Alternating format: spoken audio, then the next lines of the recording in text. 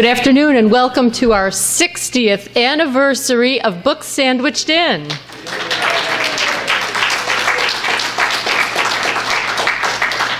Thank you all for being here for this uh, kickoff to our anniversary season. My name is Rebecca Fuss with the Friends and Foundation of the Rochester Public Library. And the Friends of the Library have been doing these reviews since 1956. So it's certainly something to celebrate. A couple of things to uh, kind of bring this uh, a little extra special attention to today. I want to give a very brief uh, pop up talk about the very first book that was reviewed in 1956. But before I do that, just a couple of program notes. If you haven't picked up a brochure about our spring season, I invite you to do so at the back table. This includes details about all our reviews, including next week's review, uh, Between the World and Me by Ta-Nehisi Coates, and that'll be reviewed by Jim Sheppard, who is our former uh, City Police Department chief and also now currently a Monroe County legislator.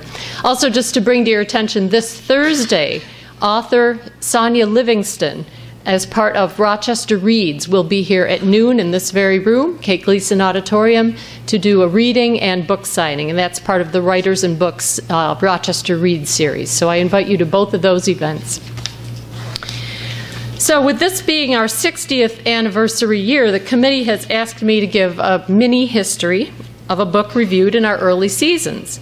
And today I want to tell you about the very first book that was reviewed for Book Sandwiched In. On October 2nd, 1956, Dr. John Romano reviewed The Menninger Story by Walker Winslow. And yes, you still can get it at the Rochester Public Library. The Menninger story was published also in 1956 by Doubleday, and it's the account of Dr. Charles F. Menninger and his sons, Carl and William, in creating, developing, and managing a famous psychiatric and educational institution, the Topeka Clinic, in 1919, which later moved to Houston. It was revolutionary psychiatric practice for its time, focusing on the overall health of patients physical, emotional, and social. We had a vision, Charles Menninger said, of a better kind of medicine and a better kind of world. The author of the Menninger story, Walker Winslow, was a friend of Charles Menninger. He became an alcoholic before he was 18 years old, and while in the Army, Winslow began reading and writing. He lived a very transient life and spent some time in mental asylums due to his alcoholism. The conditions he saw in the institutions led him to take on jobs as a mental ward attendant at the Veterans Administration. Having seen the institutions from both sides, he worked as a lay therapist with alcoholics at the Menninger Clinic. He died in 1969. The local reviewer, Dr. John Romano, founded the Department of Psychiatry at the U of R in the 1940s. Does anyone remember the name, John Romano? He was distinguished professor and chairman there for 25 years. His major interest was teaching the relationship between medicine and psychiatry in illness and health. And to come full circle, which he wouldn't have known in 1956, in 1973 he received the William Menninger Award from the American College of Physicians. He died in 1994.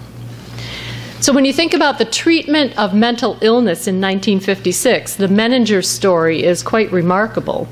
And I find it equally remarkable that the Rochester Public Library and the Friends of the Library took on this topic, which was most likely controversial and a little bit edgy. The Rochester Public Library was forward thinking then and remains so today as we provide a safe, trusted space to learn about challenging topics. We thank you for your past and future support to keep that happening. Now, on to today's review. Our reviewer today of My Life on the Road is Mary Jane Curry, Associate Professor of Language Education at the Warner Graduate School of Education. She's also the founding director of the school's Writing Support Services, which offers students free individual consultations, ongoing workshops, and occasional writing retreats. Since joining the Warner School faculty in 2003, Dr. Curry has taught courses in language education, literacy, and academic writing and publishing. Her doctoral seminars have focused on language and literacy across cultures and language, literacy, and globalization. She earned her bachelor's at Cornell, her master's at UMass Boston, and her PhD from the University of Wisconsin in Madison. She's researched and written extensively on teaching and learning English as a second language and on academic publishing. Please join me in welcoming Dr. Mary Jane Curry.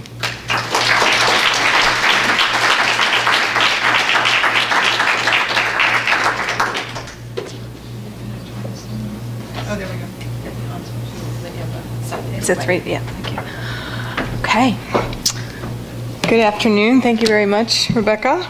And thank you to the library for inviting me to review this book, My Life on the Road by Gloria Steinem.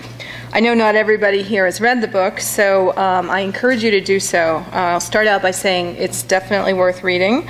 I know that many, if not all of you, have heard of Gloria Steinem in one way or another. Um, she's had a fascinating life. She's written a lot of books, so this is just kind of one slice of her life. Um, she is the same age as Ruth Bader Ginsburg, whose birthday is today, um, 83 years old. So here's Gloria Steinem. She looks pretty good. um, I don't know if this is this year, but this is not that long ago.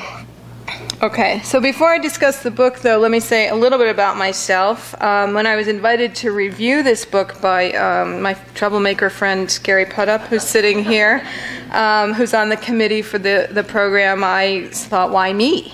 Um, and it turns out they had seen my name on a list of affiliates at the Susan B. Anthony Institute at the University of Rochester. And I, I am an affiliate, but I'm not a scholar of feminism. I consider myself a feminist and a scholar, so I decided that I was okay, okay to do this. Um, and then as I read the book, I thought, okay, this actually fits pretty well because I've done a lot of traveling and I've been and am continuing to be an activist and I've been a union organizer. I'm sort of a fellow troublemaker. Um, and I was definitely raised a feminist. I kind of think of myself as a two and a half wave feminist. Um, what did I want to say about this? I have a lot to say. Um, one, one of the slogans of the second wave feminist movement, which I'm sure many of you remember, is the personal is the political. And uh, I was trying to see if Gloria Steinem had actually created that slogan, and she said no, it's sort of like World War II. Nobody can actually claim coining it. But we certainly would think of her as uh, somebody who embodied the personal as the political. Um, and, I, and I think it's something that if you're active in trying to make the world a better place, uh, it sort of comes naturally. So I grew up in the 60s and 70s, and I was raised by a, a, feminist who took me and my two sisters to political rallies. And, and both of my parents always made me and my two sisters feel that we could do anything. This is a picture of my mom. She's Kay Oppenheimer. She's 77 years old. She's a retired lawyer and avid horsewoman. Still going strong. And um, when, when I was growing up, I remember because of her and her interest in political in politics. She had a political science master's degree. We used to go to political rallies. I remember uh, rallying for remember the Equal Rights Amendment. Still don't have it. We could still be rallying for that. Um, women's reproductive rights, uh, political campaigns. We had Ms. Magazine in our house the idea that you would grow up to be anything but a feminist was sort of anathema in my house. So I have sort of early feminist origins. Um, and my sisters and I have all turned out to be activists in one way or another. So I, I credit a lot of that to my mother. And, and um, we did some traveling when I was growing up, but I've done a lot of traveling since. So as I was reading the book, I could really make a lot of personal connections to it. So I, that's my disclaimer: is that I feel more personal, but that's okay. Personal is political. Okay, so let's see about Gloria Steinem's life. This is a really brief biography that I kind of cobbled together from her website and other places, and I'm sure her actual resume would be about 50 pages long her website calls her a writer, lecturer, political activist, and feminist organizer. So I guess those are her core attributes. She went to Smith College, graduated in 1956, and then she spent two years in India on a Chester Bowles Fellowship, which I think was pretty impressive in the mid 50s for a, a, young Smith graduate to just take off for India for a couple of years. And, and she was an, an organizer, women's organizer there. Um, and one of the things she talks a lot about in the book is how much she learned from the women that she organized uh, or helped to organize. Um, and I'll come back to that in a minute she uh, came back and worked as a journalist and, and had a lot of the same experiences that many women journalists had, especially at that time, but still continue to have in terms of being relegated to the soft news, to the women's issues, and anytime she wanted to do a political story, they would say, well, why don't you talk about Mrs. Nixon or somebody like that. So uh, she talks eloquently about sort of fighting to be allowed to report on real news. And as part of that, she was one of the co founders of New York Magazine. Most famously, in terms of her journalism, she was a co founder of Ms. Magazine, which I've already alluded to. Um, she also had a lot to do with um, political activism more broadly. Uh, she's well known for her work on women's reproductive health and re- reproductive rights. She co founded the National Women's Political Caucus and co founded the Women's Media Center. And she's been highly recognized. She was inducted into the National Women's Hall of Fame down the road in Seneca Falls. Um, Presidential Medal of Freedom, Freedom was awarded by Barack Obama, and then she just recently um, won the Eleanor Roosevelt Val-Kill Medal, which I'm not even sure what that's for, but I'm sure it's good. okay, so um, just to give you an overview of the book, it's seven chapters. It's very readable. Her writing is just so good. Um, she starts out, as many people do who writing about their life history, talking about her family. Her father um, was a heavy, heavy influence, but she also talks about understanding and witnessing the dynamics of her family and the way that her mother had to give up her career as a journalist. Um, and I'm, gonna, I'm not going to go through these exactly one by one, but I'm going to touch on some of the major uh, points here. So, uh, her early memories are of her, her father being an itinerant antique dealer. So he used to spend the summers in one, one place by a lake in Ohio. She was, grew up in Toledo. And then he would, he would go on the road selling antiques. It wasn't even really clear to me from the book how she went to school. But eventually, I mean, she went to Smith, so she obviously got an education somehow. Um, but she does talk really poignantly about how her mother uh, suffered from not really having a sense of a permanent home, and then she talks about um, what she got from this kind of nomadic lifestyle from her father this real love of being on the road and seeing the world from many different perspectives. Um, and she also confesses to having this sense of embarrassment of coming from a very atypical family.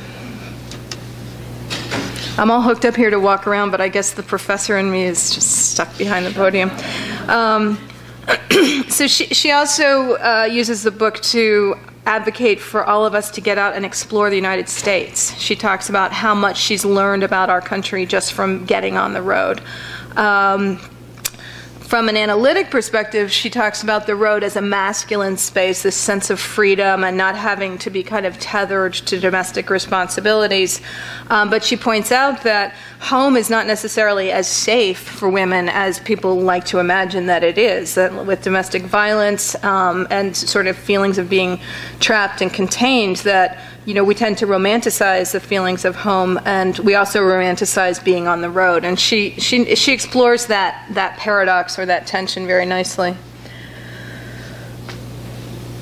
Her time in India, I think, really, I think she was always interested in politics, but her two years in India really um, helped her understand the value of democratic participation in politics. And she was exposed to what she calls the portable community of talking circles um, that women's organizations were using in India to organize themselves. And she notes that those talking circles actually inspired Gandhi's methods. Um, one of the things she does nicely in this book in a couple of places is kind of digs a little bit deeper into some of the historical truisms that we take for granted. She talks much later, and I'll get to this at the end, about the Iroquois um, Confederacy and how that influenced the drafting of the U.S. Constitution. But that's one of those many facts, kind of not it's not necessarily lost to history, but it's not really mentioned that much. So people talk about Gandhi as you know, Gandhi was a great man, nonviolence, etc. But how often have you heard about the influence of the women's organizing um, movement in India on his political approach and his thinking? So this is uh, one of the neat things for the about the book for me was just these little tidbits. Another thing I think is really um, powerful about the book is the way that she is. Um, she's very honest in, in not a kind of show offy way, but she talks about understanding in her time in India how much privilege she had as a white woman, as coming from a colonial power of the United States, that she just embodied that kind of privilege. And just to be on a kind of fellowship, which I mean, I've had some of those too, um, it's easy to ignore um, the kind of privilege that you're living when you have those kinds of experiences.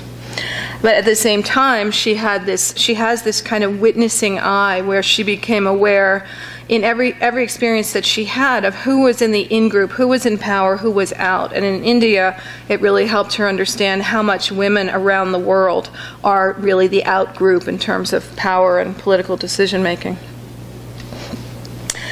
This is um, Actually, my partner Moritz, I thought he was going to be here today, but he probably forgot. But he, he witnessed me giving a talk a couple years ago. He's an engineer. And at the end, he said, You need more pictures in your talks. So I was very careful. I grabbed a bunch of pictures from the internet. It was really fun looking for these. So I thought, Let's have some pictures of India in 1958. Well, I couldn't find, I didn't have time to dig deep enough to find Gloria Steinem in 1958, which would have been really cool. And turns out, Life magazine had a cover in 1958 of an Indian woman and girl. So, um, you know, if you've seen movies about India, or maybe some of you have been to India or pictures, um, you know, I don't know if it looks that different in many places now, but um, I think for the American public to see this picture in 1958, I would imagine uh, it's quite a contrast from what people were, were used to seeing.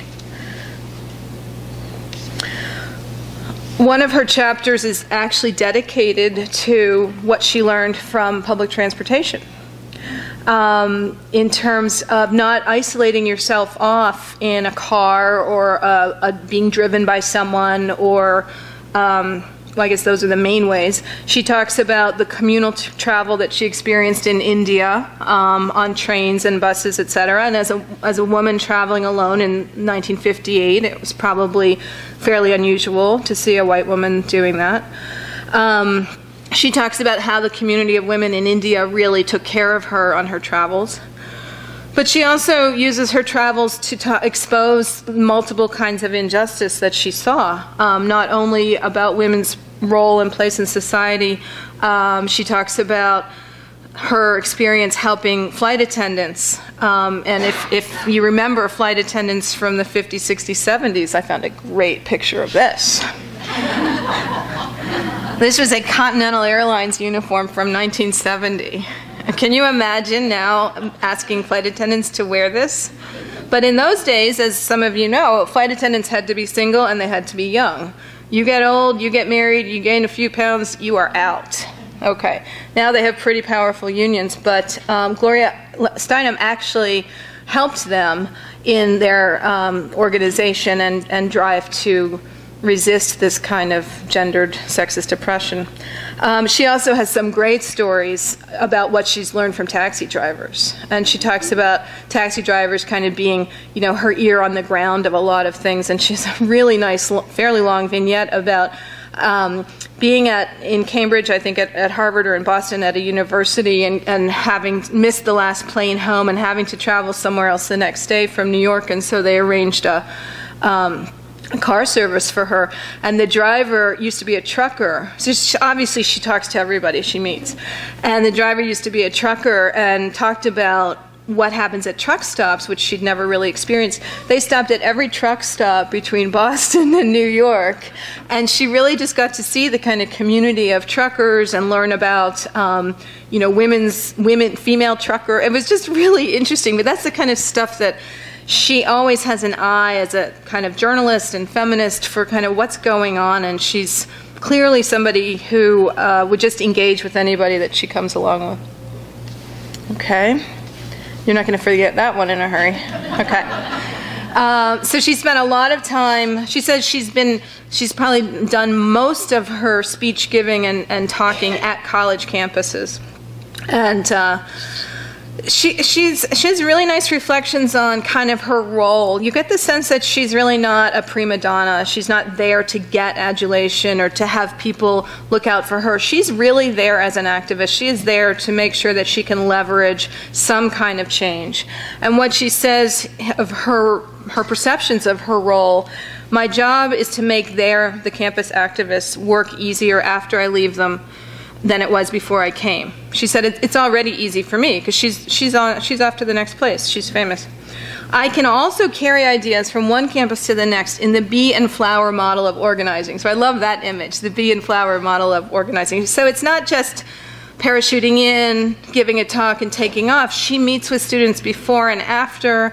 She talks about helping them with struggles on campuses, um, fighting. I mean, now we've just had these new regulations from Title IX coming through, which probably most of you don't need to know what Title IX, or you know, might know what Title IX is, but you don't need to know the administrative part of it. But all this stuff that's been happening in the past few years about sexual harassment on campus, um, the, the, Title IX, the legislation is now requiring uh, campuses to have real plans and training. We all had to do all faculty and staff at the University of Rochester, which is, you know, 20,000 people, had to do uh, sexual harassment training last fall. Um, this was unthinkable when Steinem was organizing. So the idea that uh, these kinds of injustices are being recognized and addressed to the extent possible, um, I think she can take a lot of credit for, for the kind of consciousness raising that unfortunately has taken decades for this kind of action to happen, but it is happening. Um, she talks about, to some extent, about what we would call in academics the intersectionality of oppression, which is this the idea that you know I'm not just a woman, I'm a white woman. Um, you're never just one person or one type. You don't have one identity, and so. Um, injustice, racism, discrimination against deaf people, people with disabilities, all these different isms and discriminations, they don't just happen to you in one aspect of your being, right? So uh, she, she tries to talk a lot about how she kind of put these pieces together. I, has, there's a lot of great quotations. I was like a, like a freshman making all these notes of all these great quotes in the book. Um, I was posting a few of them on Facebook over the weekend when I was feverishly trying to finish the book. Um, but I like this one. Programs begun by a social justice movement are about changing the system to fit people, not the other way around. And our dominant system is so much about making kids or making people conform to what the institutions are looking for. And here she's just saying, no, that's just not right. What the institutions need to do is think about how to fit the people. So I love this. This was a realization she had. She writes about a visit to Gallaudet University in DC, which is a deaf um, university, very good university.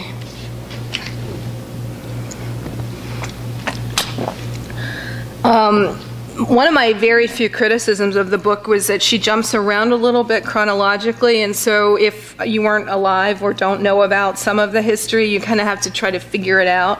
So I'm not 100% sure which campaign it was, but I think I figured out that it was the 1956 Adlai Stevenson presidential campaign, which would have been when she was finishing up in school, she volunteered, um, and she became, that was sort of the beginning of her activism.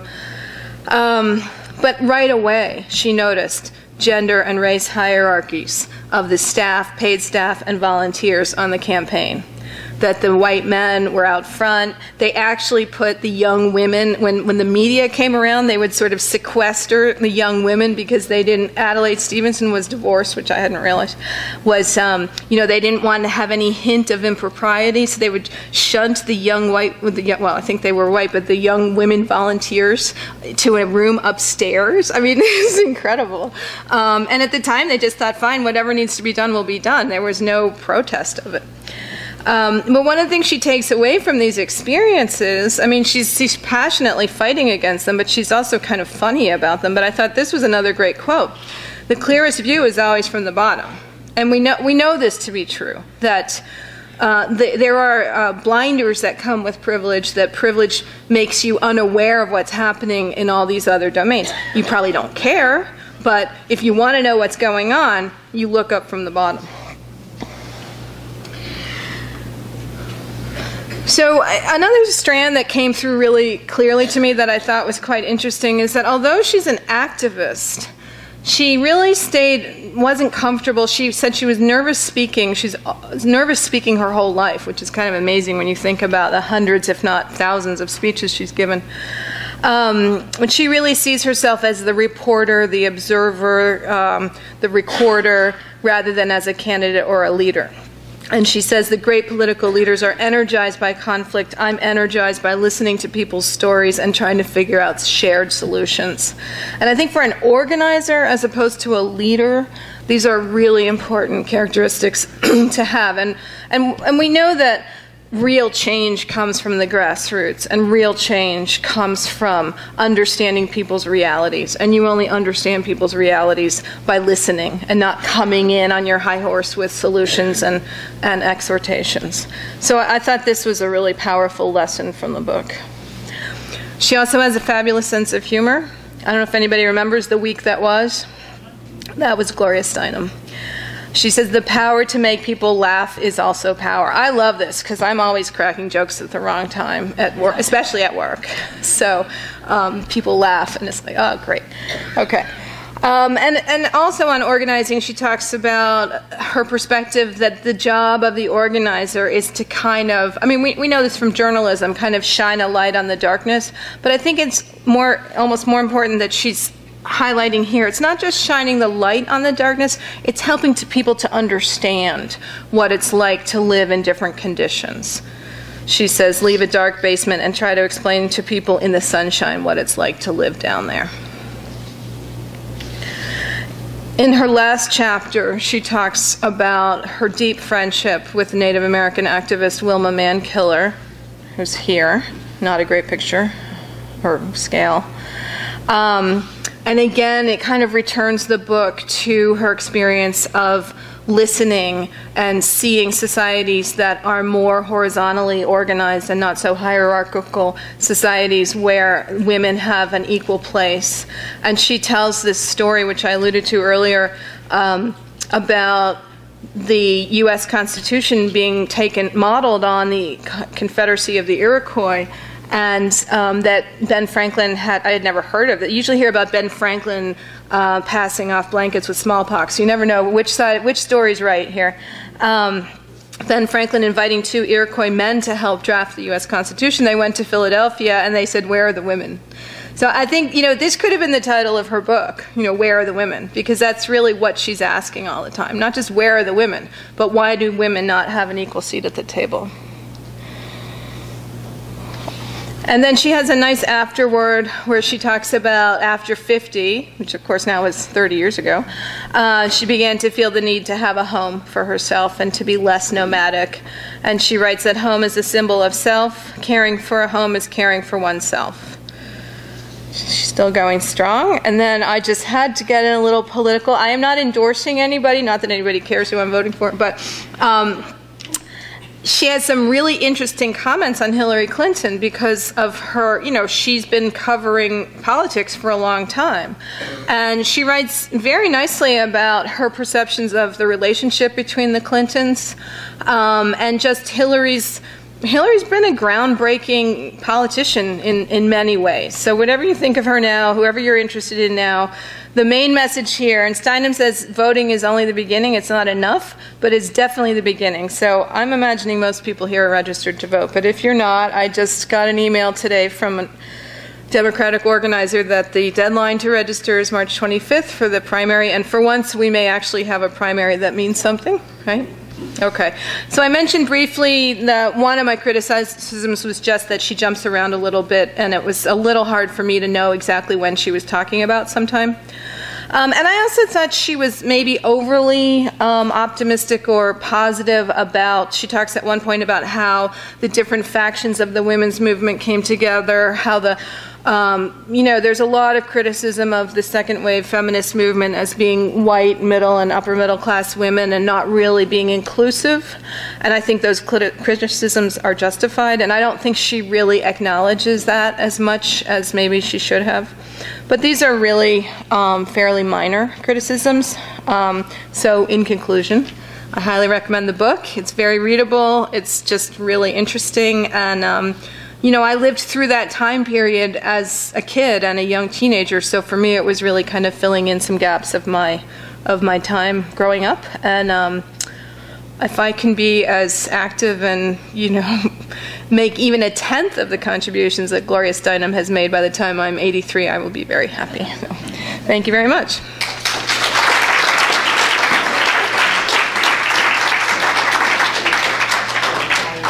So we have time, Rebecca, how much time do we have?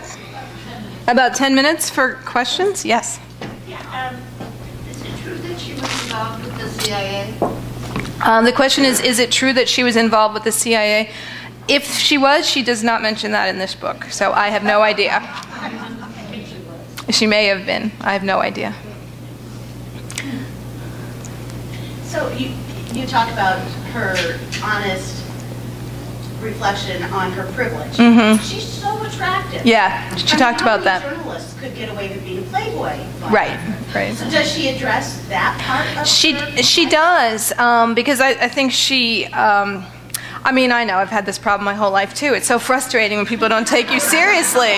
Um, but she's she's pretty honest about it. I think I think it actually was frustrating to her, and part of it was the times. I mean, she talks about this one story when she was in a cab between two male journalists, and I forget who they were. Um, they're pretty well known at least subsequently.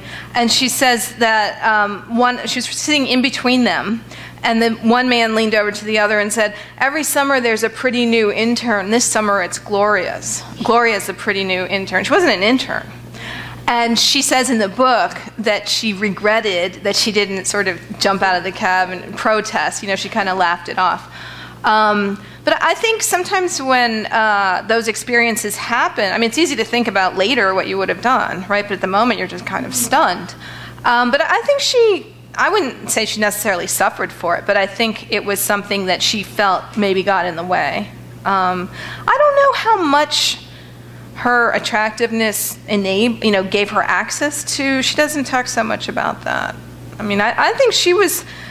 The, what was interesting to me about reading it from, from the perspective of how she spent her time is she was just out every day learning about the world and trying to shed light on the kinds of injustices that were go- are going on, you know. And um, I don't know, I'm 54 years old. The kind of energy she seems to have now I'm just like, give me, bottle that up because I don't know how, she, I mean, she obviously takes so much sustenance from what she does. And I, I, I mean, I would love to meet her because I think she must have a really engaging manner of, of being with people. And I think her listening approach is probably what does that. Gary? You, men- you mentioned um, you know, Hillary Clinton, and, and as we all know, that Steinem and, and Madeleine Albright made some comments at one, Oh, yeah. one of Clinton's, and, and they were like 60s, 70s type feminists. Yeah. And they actually um, ended up, um, I don't know, insulting, turning off a lot of millennial women. right, Is there any sense in the book that she, that she senses that the message may have changed or her approach may have changed?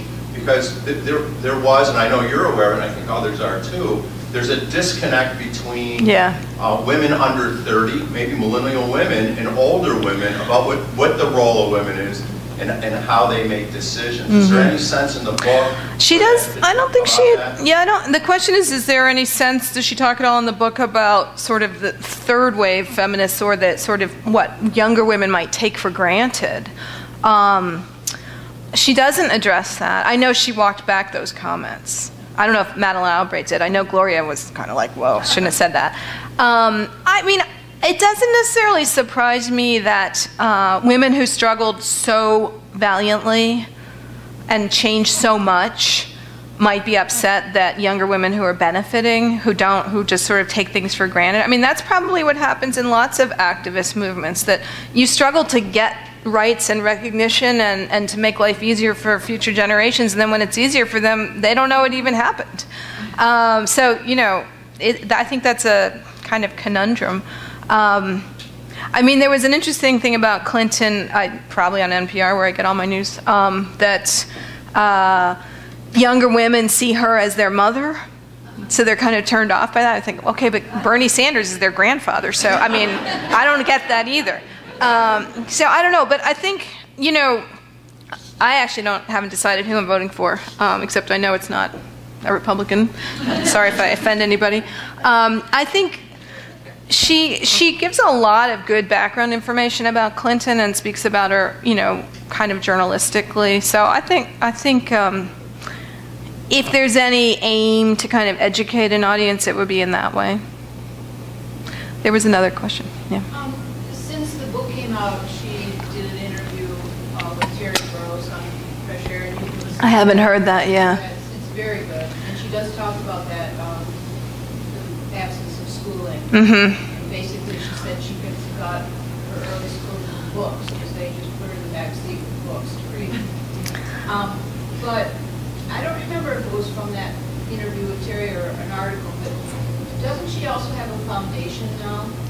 She talk about that in the book? Um, she doesn't talk about the foundation, but I think I saw that on, on the website. And- Yeah. And the foundation, it seemed to me, was very interested in um, minority women issues. So in, in some sense, I thought that that was a way of sort of getting past that, you know, the the white women. Right. Middle or upper middle Right. class uh, Right. era of feminism. Well, I think one thing, I mean, this question or, or comment is about, you know, her foundation and, and what its aims are, and, and that it's not just about white feminists or white women.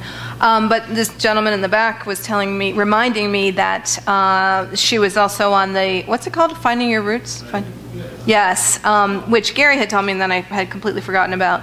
Um, so she's, I think there's, there's, I mean, she could have written 26 volume book. I mean, she, her life is fascinating. So I think um, hearing her speak in her own work in person or on, on video or audio would, would be even more interesting because there's just a lot she doesn't address. And I think, you know, in this book, she's taking this slice of kind of looking at her travels and the different ways that traveling has enabled her to become who she is. So there's a lot of other ways of looking at her life. Yeah. What I was struck by Yeah. Which you just don't hear anyplace else. was very enlightening. I think uh, it's one of the many kind of absences uh, that, you know, theoretically we call structuring absences, which is like Maya Angelou's playing in the dark, which is really that, you know, the, the dominant white view of our whole society is just one slice that's blinder, that's just so limited. And I was really grateful that she included that last chapter where she talks about not just her friendship with Wilma Mankiller, but her appreciation of being brought into Native American um, families. I mean, she really had a very deep and abiding friendship and uh, activist relationship as well. Sir? I'm not afraid to say who I'm voting for. Okay. if I knew, I would say. I voted for Barack Obama, President Obama, and I'm tired people Obama. Obama, it's like you know, to say that name. Uh, I had no qualms about voting for Hillary Clinton, and I think it will be a sad case uh, in America if we don't all uh, uh, do the same. Because uh, women bring a very different perspective on just about everything. They're certainly not going to screw this country up as much as all of those idiot men. who are all Now, see, I can't say that. Thank you. But I will be there first thing on November to vote for Hillary Clinton. Okay, well, thank you very much. Any other questions or comments? I think we're about to wrap up. hmm One more. I have a friend who's Native American, and she, one of the things she said, which really woke me up, was she said when they have a problem in their group, they get together, they meet, they get it all hashed out, doesn't take them very long, and that's it. And she said, what really gets her going is in the white culture or in just non-Native American culture, it's meeting after meeting after meeting after meeting. And she said, That's stupid. Why can't, why, we- why are we to get this done in one meeting? You guys get to do five or six. I think that's a great question, and, and uh, I was grateful for the timing of this event because I get to miss a three-hour meeting on campus right now. So I'm with you. Okay. Thank you, if you could stay up here for Oh, sure. Yes.